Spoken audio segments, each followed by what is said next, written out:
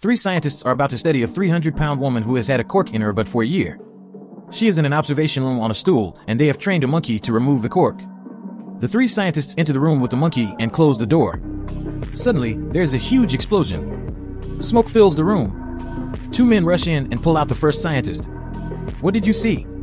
What did you see? They cry. I saw tons and tons of gas coming out, he replies. They run in and grab the second scientist and drag him out. What did you see? They demand. I saw tons and tons of gas coming out, he cries. Back they go for the third scientist. What did you see? They cry. I saw poor little monkey trying to put the cork back in.